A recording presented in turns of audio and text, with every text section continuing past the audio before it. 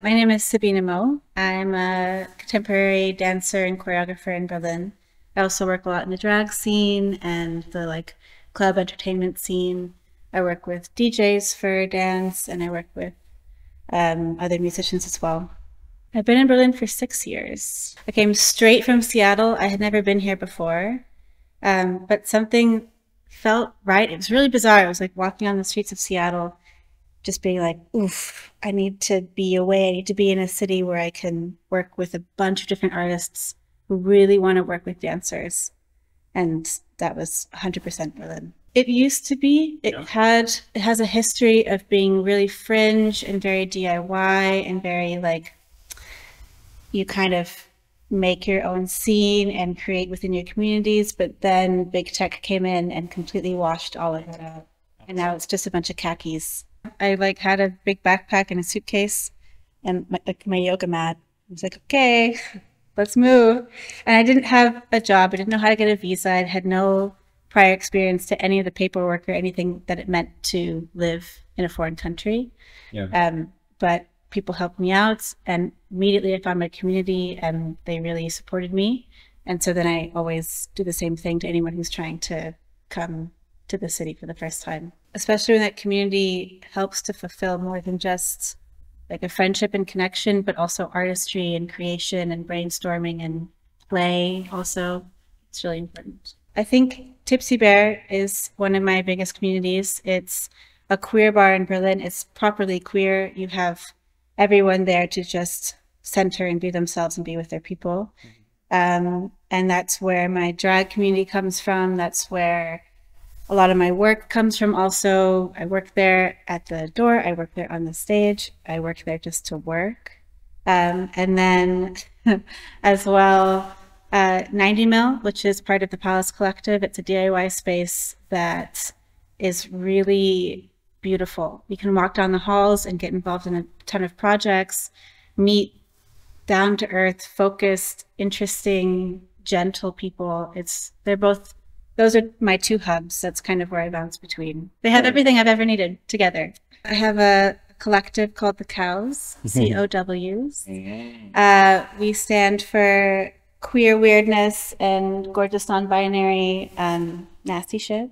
We do festivals, we have our own show at Tipsy Bear, and it's just there to be like high fem, high absurdity, high community. We want to make people be as silly as they can while still feeling like they're participating in a group experience. I think we want to spread community through play through our shows. Mm-hmm. Well, I think the root of queerness is just understanding that there's a vast variety of ways to be. That is what queerness is. The binary and like a straight mentality is one or two things. Queerness is transcends numbers. It's so, so much. And in order to get into this bubble to really understand vastness and variety, it's important to play, to mm. have fun, to be silly, to break out of how you feel like you're supposed to be as a 30 year old, 40 year old, 25 year old, 16 year old, whatever age you are. And my medium, dance, and hosting shows allows for silliness to start to creep in. And when you can be silly, it means that you are fully experiencing yourself. You're letting go, you're you're trying, you're laughing and laughing with others. Another thing about queerness is experiencing something with everyone around you, having a, a being held in a room. So I think we've had a couple people who just wandered into Tipsy Bear one day, didn't know what it was, didn't know what was going on, and they were mooing and making eagle noises and screaming and like clapping and doing this. And I was like, this is it. Like yeah. now you're indoctrinated. Now you understand what a queer space is. And it's meant to allow you to unleash a little bit, to shake off what we think we know and just move a little bit. It is definitely getting more dangerous for queer folks, especially very visibly queer folk, very visibly queer folks. Um, it's getting really scary. It's not safe. And it, and also being like reading femme or having breasts is also becoming less and less safe. It's getting really spooky out on the streets.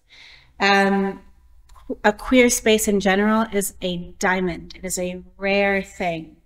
It's there's a there's an overrepresentation of one kind of way to be queer, which is this cis, like gay man.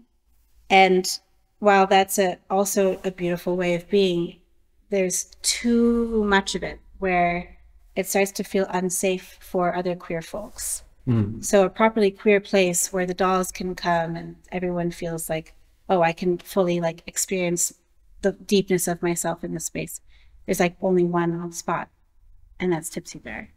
And other things are also underrepresented in the world. In every major city, there's not enough lesbian bars. There's not enough bars that are trans friendly or like primarily for trans folks. Mm. It's just jockstrap parties everywhere. I think it's interesting this word cringe because I think that people experience that emotion internally to themselves when they see something that they've been like cutting away from them in front of them they cringe yeah. because they have that in them yeah but they haven't let that like nestle in them yet. So they go ugh